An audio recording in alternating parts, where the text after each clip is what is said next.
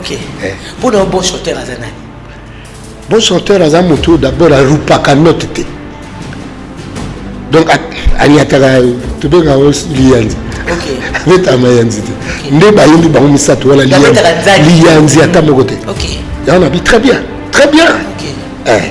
bon chanteur aza d'abord moto oyo abimaka na tonalité te so bapesi yo tonalité oyembi na kati est la différence eza entre bon chanteur et, et, et grand chanteur eh, différence eza pisa biso différence bon chanteur oyo nalobi wana grand chanteur faza na compréhension ya musique c'est-à-dire c'est-à-dire ayebi harmonie na kati ya motu na ye ayebi kocomprendre gamme diatonique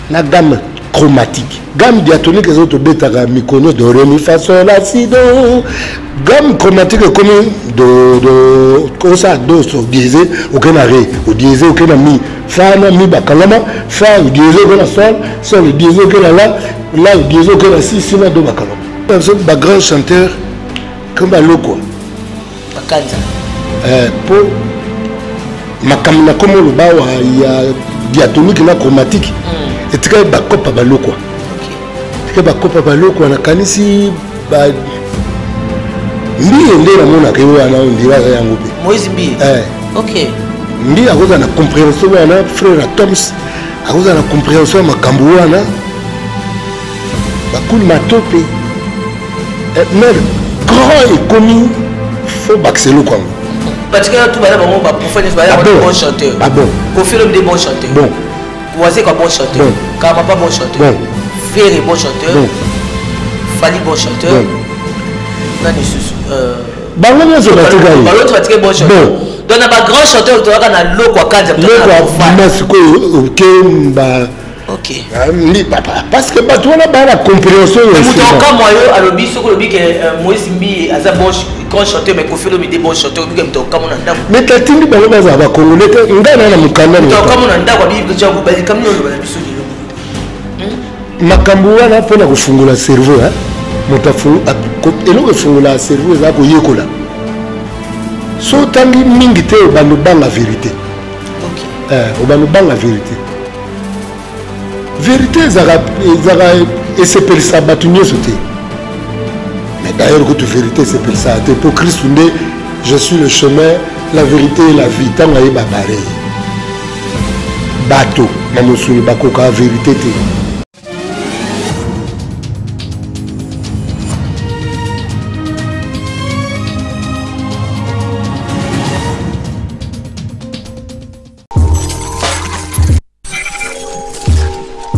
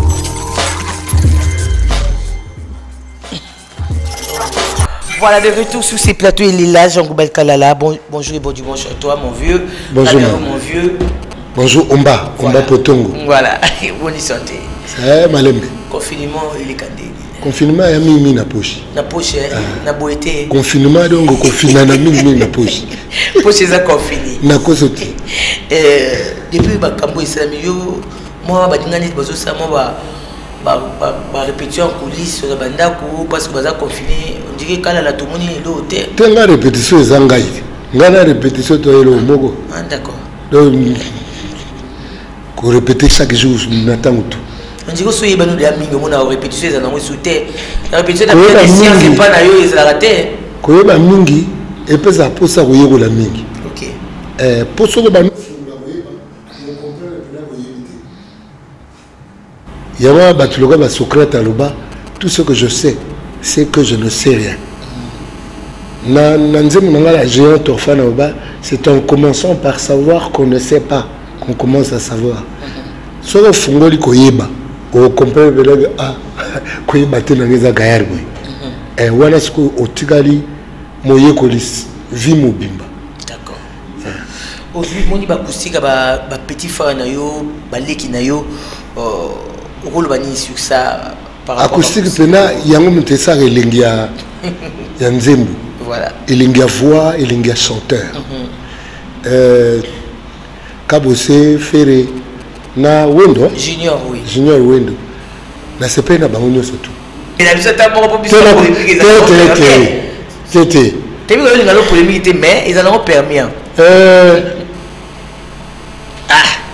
kalaga bon nga moto ya surprendre nga eza kabose d'accord euh, fere nayebi kelemamba baacoustique wana ya cope na ye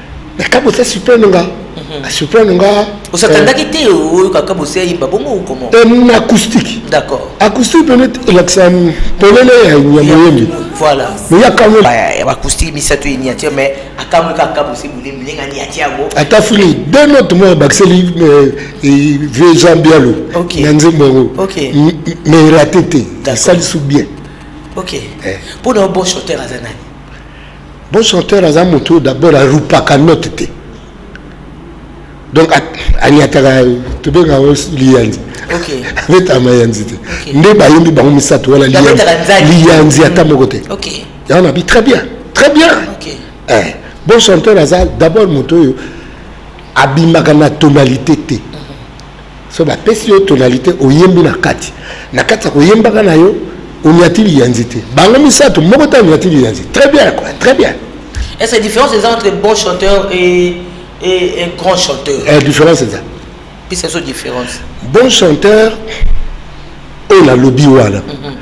grand chanteur faza na compréhension ya musique c'est-à-dire c'est-à-dire ayebi harmonie na kati ya motu na ye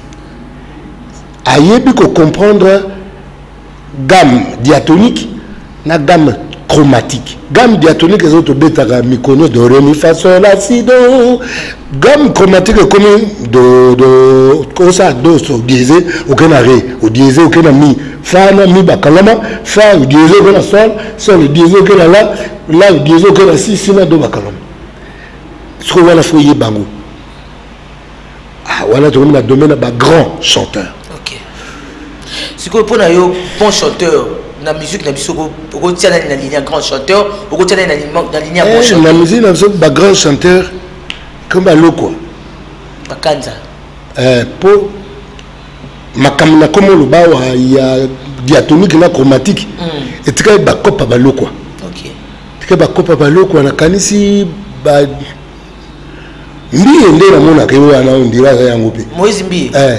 ok mbiye akozala na comprehension wana frère atoms akozala na comprehension ya makambo wana bakulu matope eh, mare grand ekomi faut bakisa eloko yango faut qu'il y ait la compréhension ya gamme diatonique gamme chromatique okay. eh.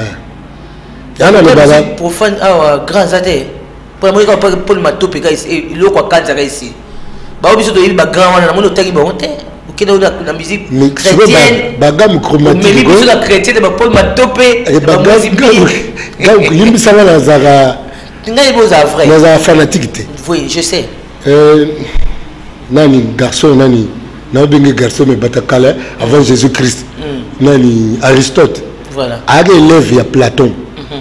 mais alobi entre amitié na vérité mhm. na poni vérité elève moko makambo ezalaki ke platon abimaki libanda ajongisi ya abi te esika wana vérité eza te mhm. biso banga olobela na bavérité nalobi grand chanteur faza na compréhension ya ba surtout gamme euh, chromatique parce que chromatique awa biso ezalaka mbulu eza mpo na classe wana nayekola yango mm.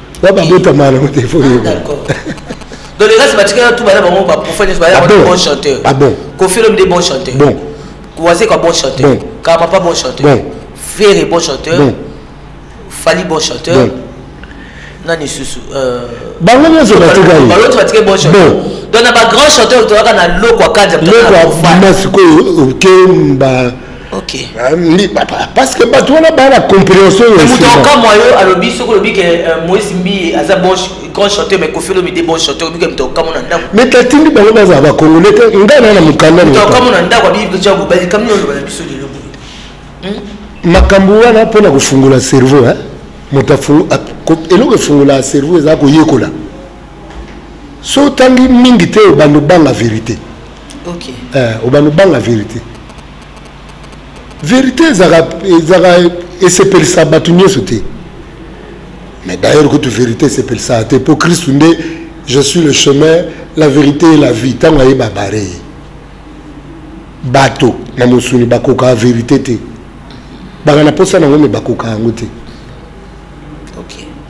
hmm. voilà il s'appelle jean mobalo abitanga mingi soki oza mayele mingi obanga obanga verité ti ngai nabangaka nanga koloba verité te mpo nayaka nanga na haine nobanki te na bcdcd voilà jean mobalo euh, tokojete vers la fin parce que tozoki otemp juste kaka moke mpo euh, ngongo eza lisusu vraimen mingi te totikaki kaka na 10 minutes babakiseli biso oyo tokoluka tosolola mwa moke mais musique yango nde ezokende omoni nde obeti biloko obeti oyo basepeli no te ozokurange basepeli no te poto na otyongo su na youtube babi ah jean goba naboyi naboyi te bato na ye naboyi te nazoloba selon ndenge natangela mikanda miziki eza na mikanda ngai nakozala na 100 soki 130 livre ya miziki nakenda poto verei verei akabela nga 12 livre abina nga 4 pesa naina 8 ya yo sikoyo ve evoluka otye na place bon na kote bon na bon hein hmm. bongo koshiro mpe asona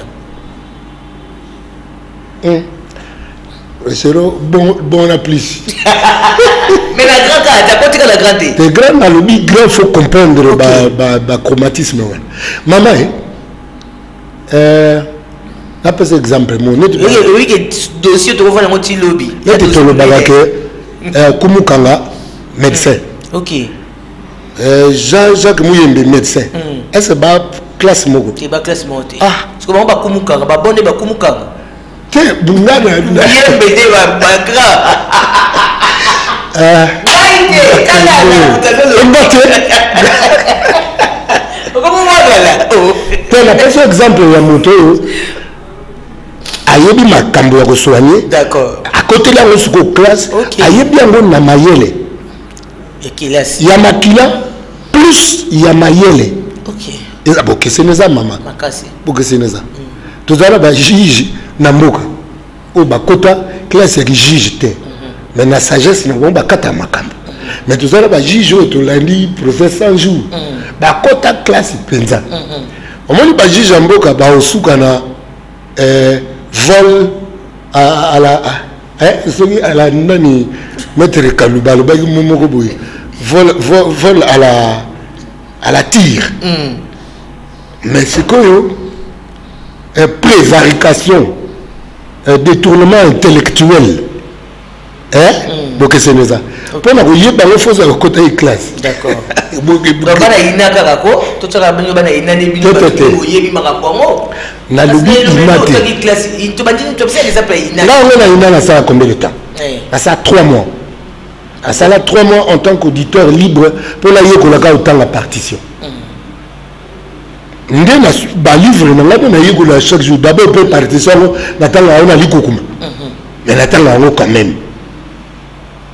nalobi te bana yina kaka bokeseni eza neti fere soki akoti yina mm. na mwana moko asilisi babiochimie na ye ayesa yina ah.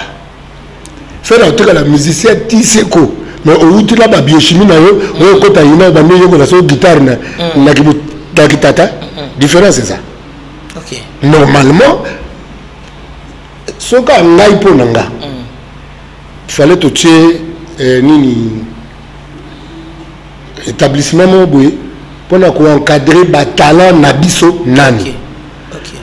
mpo bakoma na dimension fo bakoma mpo na nga bato lokola bafere fale bakendaka kota ba michael kuna jackson oui okay. oui mpo na voix na ye bokeseni kaka mpo nini ye asuki na oyo ya makila okay. michael abakisi ya koyeba c'est-à-dire que eza na oboya motu te d'abord eza kutu motu ye moko azomiboya obanga koyeba noki te oya obika pamba biloko kristo ayandi oloba babanga oyeba na ngai noki te baya obika pamba eh, babanga oyeba noki te bokoma danze badanze ebele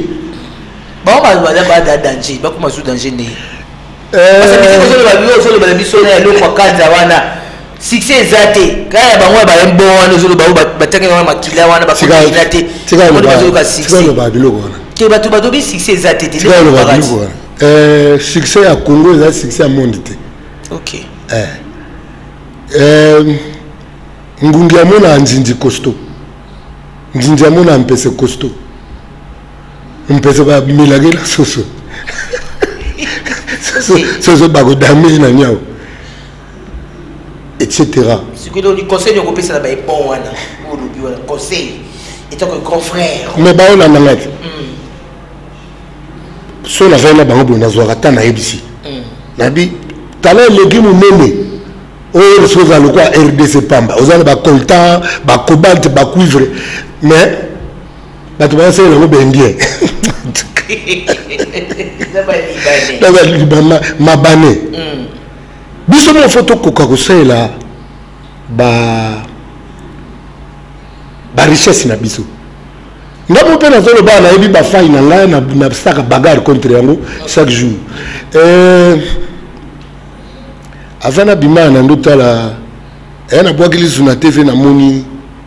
Jackie Chan na mwana ya Will Smith mm. eh?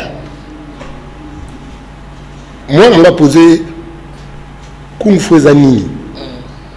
Jackie Chan a répondre ye kung fu eza dans chaque acte ozo pose na vie kung fu eza na ba rapport na yo na bato mosusu kung fu eza na rapport na yo na tout ce qui nous entoure mhm. tolaka nini philosophie mpe yango wana la philosophie eza les rapports de soi à soi mhm. le rapport de soi à autrui les rapports de soi à la nature à mhm. l'environnement c'est que kung fu ya philosophie or biso ene ezozanga biso kobokwama na philosophie kobokwama na rapport ya bien na yo na yo na yo na baninga na yo na nature awa nazoya boye nazwi taxi nsofa oyo aokumba ngai abi a bazobongisa limete boye baotisa pelouse na ngambo kuna ya mm. industriel nayebisi nsofa ngai abi chaque fois ke bakotiaka pelouse kaka na mokili eke baotya pelouse wana na kati ya makanisi ya bato te bato bakobebisaka kaa yango mhm. so ozwi nsoko muntu okitya ye na grand hôtel mhm. akopunza akopota c'est-à-dire oyo akokuta farata na na douche farata na mesa mhm. apunzapunza il faut kotia moto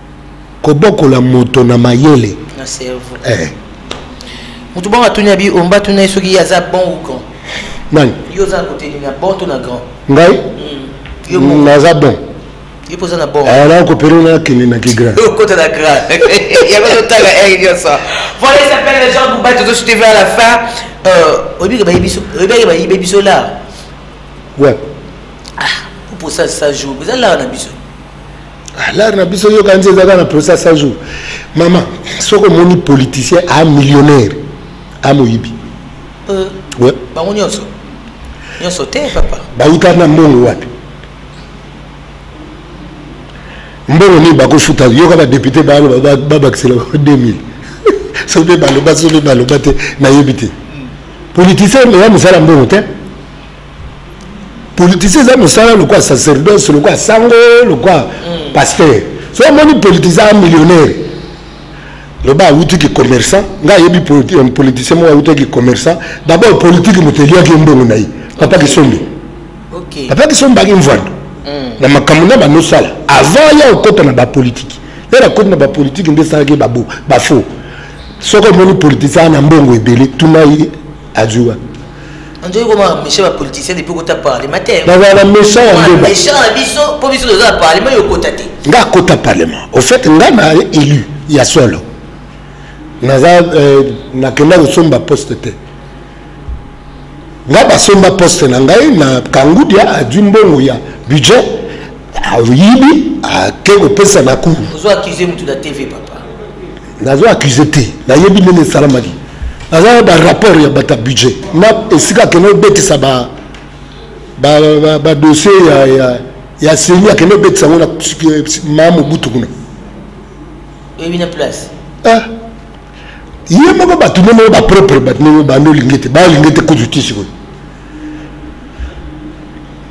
kotumelaka te mama voilà nous sommes arrivés à la fin de cette interview il est venu en retard namoni bamessage ebele tellement que aye mwa retard donc euh, moye tokota makasi eza te parce que euh, soki toloba nga mpe natonga awa badosie kobima ebebe abi natumbola te posoki atumboli ya bilai ekotumola te toi peuple moko ya bebe mhm. peuple ya mwana moke aobanga koyoka vérité mais mokolo le congo va aller de l'avant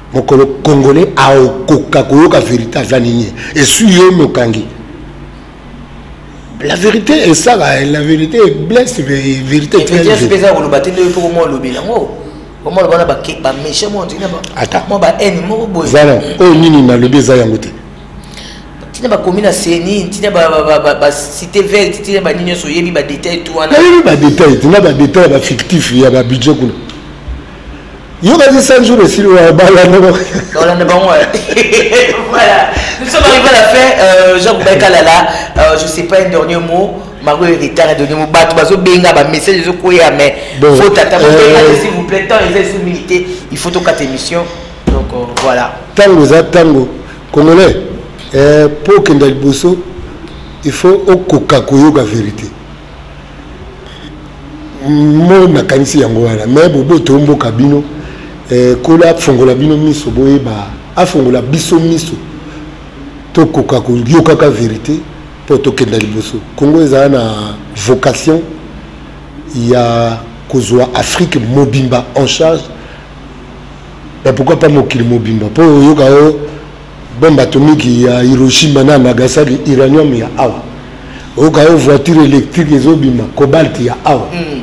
oyoka yo bill gate aorenie mabe coltan ya awa mm-hmm. oyo eh, basinga courant toyosomba bacable cuivre euti awa eke kuna bata mpo bitu totravaille yango awa te mm-hmm. biso moko baplante wana c'est parce que to bango yoka vérité OK ouais Merci beaucoup. Euh, les réseaux bateau bail posé belé. N'était pas patron qui bombe ici toi déjà. Na lela ya mabe, na na landa les profondeurs.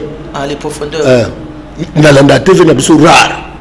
Là des missions mon na landa oui là les profondeurs. OK. Euh, eza ba musu ya ba chef musu pe na landa mais mais ça mopapu na yango aya te ok merci beaucoup ce n'est fini la réduction de cette émission ce demain à partir de minuit quand on va retrouver ma dimanche prochain bato bazobenga mpona polémique nde totongaka comme toyambaki invité dimanche prochain nde na kozongola zu polémique ya baacoustique totonga mpo ato abaki te merci à vous tous bozalaki branché merci à toute l'équipe merci à mon patron qui bombi chez toi jean pierre merci madame kiki qui bombi retrouvez moi dimanche prochain pour un nouveau numéro bye bye et à la prochaine